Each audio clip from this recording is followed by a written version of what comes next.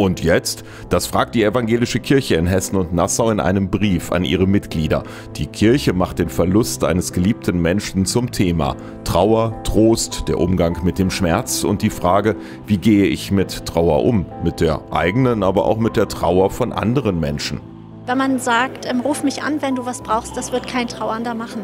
Das äh, ist eine zu große Hemmschwelle, sondern immer wieder, ein, man kann auch eine Textnachricht schreiben oder äh, einfach kurz durchklingeln oder ähm, ja, anrufen und sagen, ich gehe jetzt einkaufen, soll ich dir was mitbringen? Sowas wäre ein gutes, konkretes Angebot. Über 1,5 Millionen Briefe hat die Kirche verschickt. Darin ist auch ein Wegweiser für Trauernde und für Tröstende, für den Umgang mit der eigenen Trauer, Ratgeber und Seelsorge. Aber auch wenn man Trost spenden möchte und nicht weiß wie.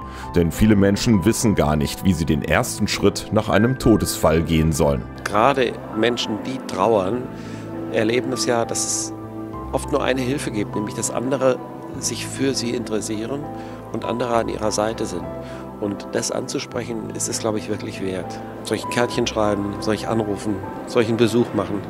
Gibt es irgendwie da auch Punkte zur Orientierung? Und haben wir ganz praktische Hinweise, was vielleicht hilfreich sein kann, Menschen ihre Freiheit zu lassen, selbst zu entscheiden, wie nah der Kontakt sein soll, aber wie auch gute Angebote aussehen können.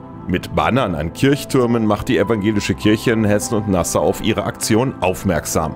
Und sie bietet bis Ende November viele Veranstaltungen, Konzerte und Vorträge, aber auch Trauerwanderungen und Gesprächsabende, damit der Umgang mit der Trauer kein rotes Tuch mehr ist. Es ist nicht unüblich, dass Menschen die Straßenseite wechseln, wenn sie einem Trauernden begegnen, aus Angst und Scham davor, was sage ich jetzt, mir fällt nichts ein, ich weiß nicht mal, wo ich hingucken soll. Und in dem Moment, in dem es Abendveranstaltungen zur Trauer gibt, ähm, man über Trauer ins Gespräch kommt und einem letztlich bewusst wird, dass es einen jederzeit auch treffen kann, dass man jemanden verliert und dann auch in Trauer sich befindet, ähm, wird, glaube ich, schon ein großer Beitrag geleistet. Mehr Infos für Trauernde, aber auch für Tröstende gibt's im Internet.